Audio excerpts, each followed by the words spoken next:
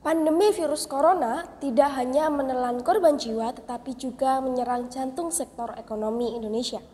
Hampir seluruh pengusaha jasa travel, perhotelan, dan transportasi umum menurun bahkan kembang kembis. Pengusaha pun mulai khawatir akan terjadi krisis ekonomi akibat COVID-19 ini yang bisa menyebabkan kerusuhan seperti pada tahun 1998. Apalagi ditemui ada beberapa kelompok anarko yang membuat gerakan penjarahan massa.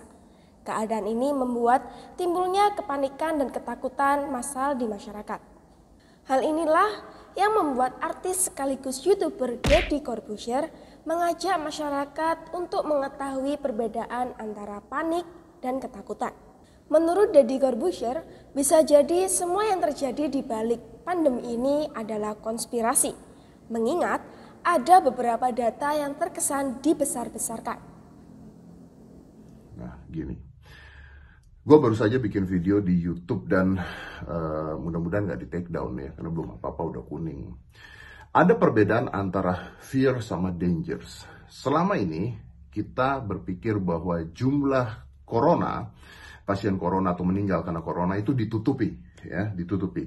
Entah itu di Indonesia atau di seluruh dunia ditutupi jumlahnya. Karena sebenarnya jumlahnya jauh lebih besar ya dan menakutkan oke? Okay?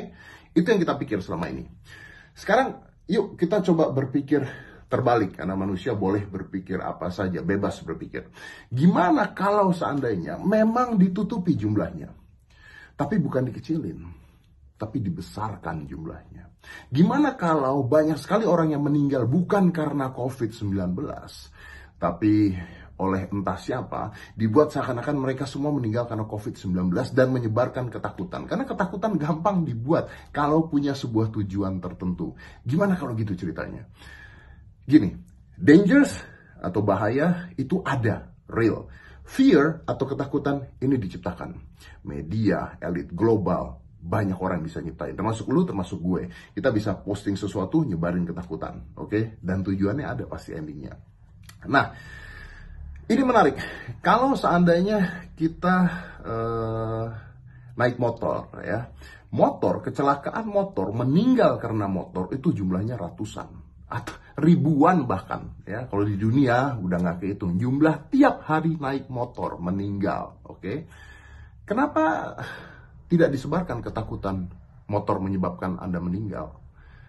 Oke, bisa dijawab bahwa ya kalau COVID-19 itu karena penyebarannya begitu luas. Motor juga, motor juga penyebarannya begitu luas. Cicilan motor sekarang makin gampang. Semua orang sekarang showroom-showroom jual motor dimudahkan.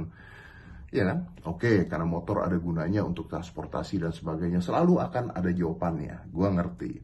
Ya, penyakit malaria. Penyakit malaria di Indonesia satu jam mati 11 orang Oke, okay, karena udah ada obatnya. Iya, tapi matinya 11 orang. Kanker ya itu akan terkena satu dari tiga manusia di dunia. Satu dari tiga manusia di dunia. Kalau gue salah, korek nih. ya. Tapi dari research yang gue lakukan, satu dari tiga manusia akan terkena kanker. Obatnya tidak ada, vaksinnya juga tidak mungkin dibuat. ya.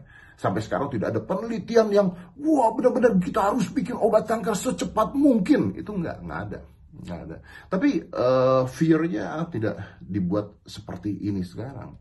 Bahkan sekarang beredar katanya bahwa uh, vaksinnya nanti akan berbentuk chipset katanya ya. Jadi dimasukin chip. Wah. Ada teori yang mengatakan vaccination for depopulations atau depopulations by vaccination yang artinya membuat depopulasi dengan vaksinasi. Gimana kalau ini semua adalah konspirasi? Bukan Indonesia, Bukan, tapi elit global yang kita bahkan nggak tahu siapa. Is it possible? Mungkinkah itu? Gue cuma ngajak kalian berpikir doang. Ini bukan penyebaran hoax karena ini adalah bertanya. Gue bikin. Sekian informasi dari Surabaya Pagi TV.